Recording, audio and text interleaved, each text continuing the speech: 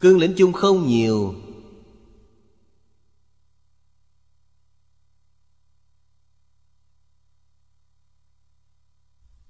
Tịnh nghiệp tam phước là nguyên tắc chỉ đạo cao nhất. Phật dạy chúng ta phải tu như thế nào? Nhưng căn bản của căn bản, Phật Pháp hay Thị Pháp không có gì khác nhau. Hiếu thân tôn sư là căn bản của căn bản.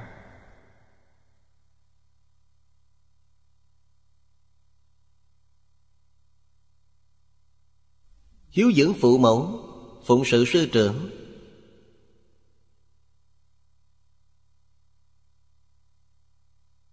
Nếu không có hai nền tảng này, Xảy ra vấn đề là phá hoại hết tất cả. Dù quý vị học như thế nào cũng không thể thành tựu, Đều là giả. Ngụy trang tốt đến đâu thì cũng là giả, Không phải thật.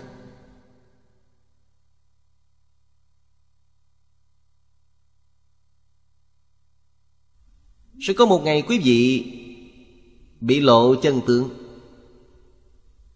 Đến lúc mọi người nhìn thấu rồi, Quý vị không đáng một đồng.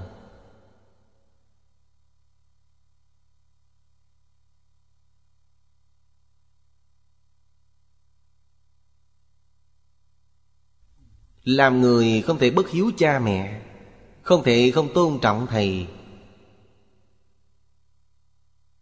Đức Phật nói rất hay, Chúng ta có được thân mạng là nhờ cha mẹ, Có được huệ mạng là nhờ thầy. Con người có hai mạng, Thân mạng và huệ mạng. Huệ mạng quan trọng hơn thân mạng.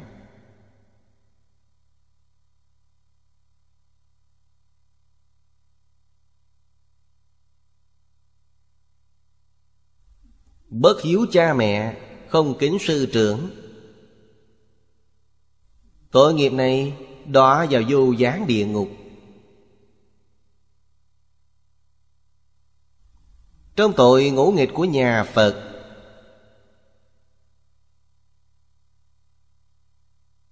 Thứ nhất là giết mẹ, Thứ hai là giết cha. Đây là bất hiếu với cha mẹ, Thứ ba là giết A-la-hán. A-la-hán là thầy.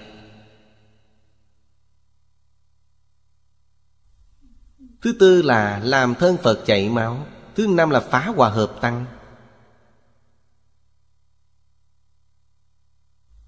Phá hoại chánh pháp của tăng đoàn.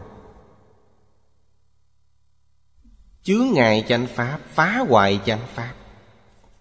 Phạm năm nghịch tội này là đọa địa ngục A Tỳ. Nặng nhất trong các tội.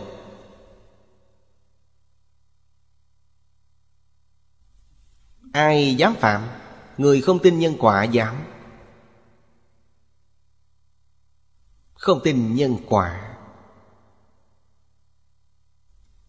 Vấn đề này không phải không tin là không có.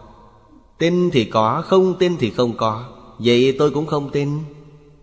Nhưng ở đây không tin nó vẫn có. Bất luận là tin hay không tin.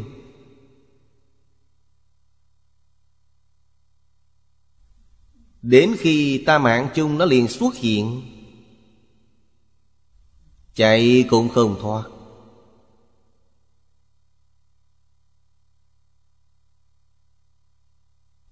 Bởi thế không thể không biết điều này.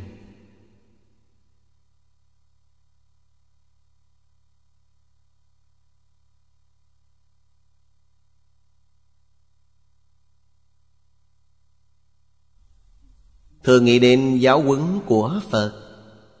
Giáo huấn của Thánh Hiền. Địa ngục rất đáng sợ. Từ xưa đến nay, Bao nhiêu người sợ khổ địa ngục, Họ mới phát tâm Bồ Đề.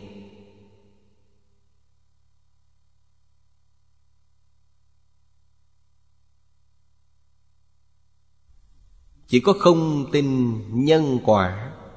Phật pháp gọi là nhất xiển đề. Nhất xiển đề là tiếng phạn. Dịch sang tiếng trung quốc là không có thiện căn. Họ không tin, họ không sợ. Nhưng đến lúc hối hận cũng không kịp.